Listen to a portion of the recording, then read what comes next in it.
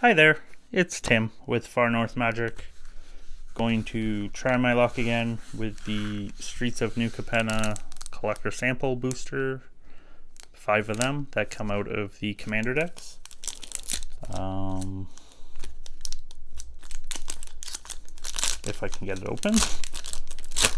Okay, hopefully get on a better streak than what we've been doing. We got a Maestro's Charm and a wiretapping in the extended.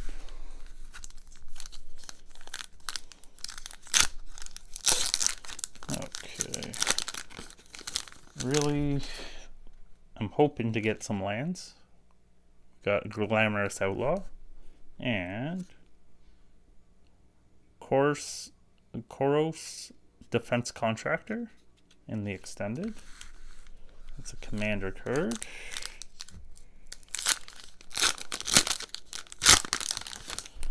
Because a bunch of the earlier ones, we got Masked Bandits. Those raccoons. Oh, and we got a land finally. We got Xander's Lounge. I was going to say, we got lands all over the place in the earlier batches that I was not suspecting that they would be that common. And it's proving to me that they aren't. We got Tramway Station. And, oh, a Giada Font of Hope. And hopefully,